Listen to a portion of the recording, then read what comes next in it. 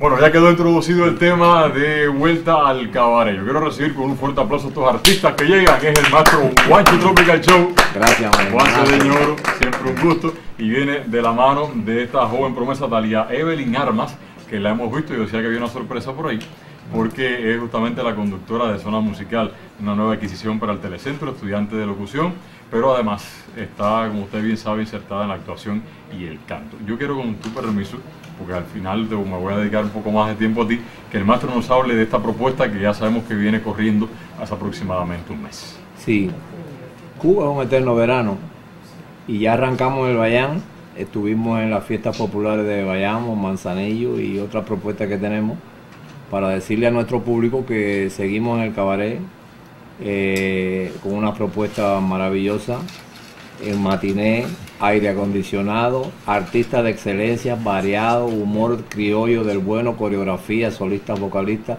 diferentes géneros que le gusta a nuestro pueblo caribeño, cubano. Allí hay una oferta gastronómica variada, coctelería, o sea que por el precio módico de 100 pesos la entrada, fíjese usted, usted y yo podemos ir. Sí, como no. Y entonces les estamos diciendo, porque como nos ven a veces trabajar en otros municipios, seguimos en el cabaret, o sea que estamos ahí el domingo desde las 4 de la tarde hasta las 12 de la noche y aproximadamente a las 6, 6 y algo, pues el, el espectáculo, el show sale para todos. Háblanos del show por- en sí, por dentro que tiene, cuáles son los artistas. Sí, un espectáculo de variedades que tiene artistas de excelencia como es Jolly Martínez, eh, Kelly La China, Margarita Alarcón, José es una adquisición de música mexicana que Ah, nos llega desde Guisa, un excelente cuerpo de baile, Talía Evelyn, y, y estamos ahí, el humor criollo, que es un desdoblamiento que hace Margarita ejemplar, fíjense Sí, ustedes, eh, qué bien. Que además Y- se desdobla para los niños. para los niños. Y estamos ahí aproximadamente una hora y 15 minutos disfrutando del público y el público puede disfrutar de nosotros. Sí. Un espectáculo de cabaret, de variedades, que siempre está arraigado en nuestro pueblo. Por alguna razón, siempre estuvimos a, a cabaret lleno y por alguna razón se hizo ese cabaret el más grande de Cuba bajo techo Así en es. nuestra ciudad. Por el cariño y por el gusto poblacional de, que tiene Bayamo este hacia género. ese género. Así es. Así que en cualquier momento lo vemos usted animar allí. Bueno, ustedes saben que siempre estoy ávido de, de las invitaciones porque además te sabe que trabajé unos años como conductor Así. ahí en el Bayán, lo cual no, usted sigue trabajando con Bueno, nosotros. sí, seguimos haciendo cosas todavía Sí. en el Bayán, que sin duda fue una gran escuela para mí. Se sabe que no es lo mismo trabajar en escenario en- con público abierto que estar en un lugar cerrado. Hay algo eh, importante y que la gente se preguntará, ¿y por qué la diferencia del cabaret? Por una razón eminente, y es que en el cabaret el público está tomando y comiendo. Exacto. ¿Cómo logra el artista que suelten todo eso y aplaudan? Y ahí es donde está la complejidad, porque si usted va a un teatro, usted, Sabe que lo van a ver. gústelo o no, pero usted aplaude, Exacto. por disciplina y por encanto. Pero cuando va al cabaret, usted va, se puede dar la espalda si quiere. El reto es mucho Pero mayor. lo- el reto es mayor. Es mayor. Por esa razón estamos ahí en ese género que se llama cabaret, que no es una instalación, es un género del espectáculo musical. Exacto, muchísimas gracias al maestro Guanchi. Bueno, pues me imagino que Talia Evelyn debe sentirse muy honrada de tan joven, solamente estudiando todavía, pues ya estar incursionando con el maestro Guanchi y su compañía y en un lugar tan emblemático como es el Bayandino, de lo que has estado haciendo y cómo lo vas llevando. Bueno, para mí es una experiencia totalmente nueva porque recientemente me gradué hace pocos meses Sí, en la Academia de Actuación y entonces eh, de cantar, siempre he cantado desde, desde pequeña, ¿no? te tuve una vez aquí como invitada en un festival, algo así, Exactamente, en ¿recuerdas? Festival de Bolero hace Exacto. unos años atrás. Yo siempre he cantado, pero nunca me he sometido a cantar en cabaret. Como ni con- profesional, claro. Exactamente, ya profesional de- del arte.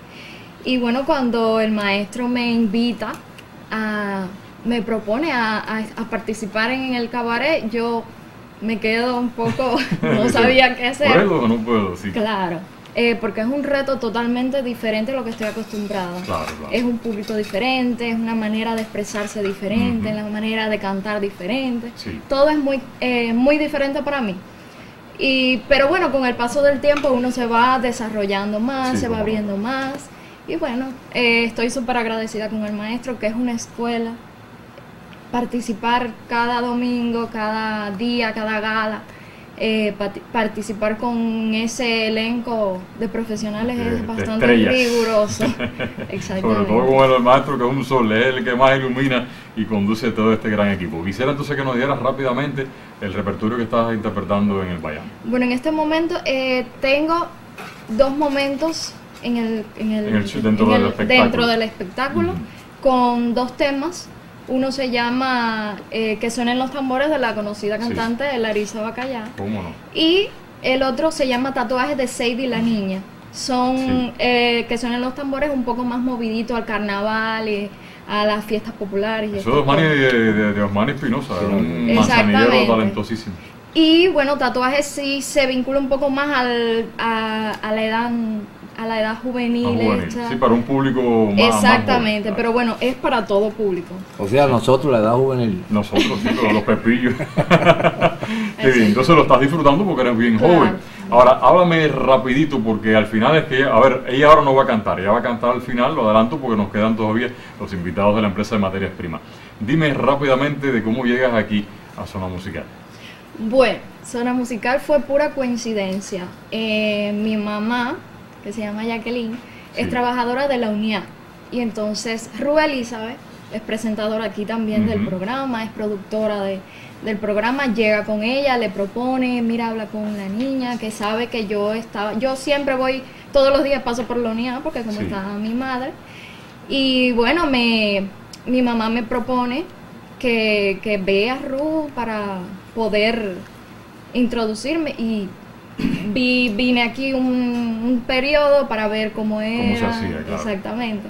Y bueno, poco a poco eh, he empezado a hacer los programas, ya ha pasado un mes de, del programa, tengo que aprender muchísimo. Sí, sí, esto es una carrera todavía de toda el inicio.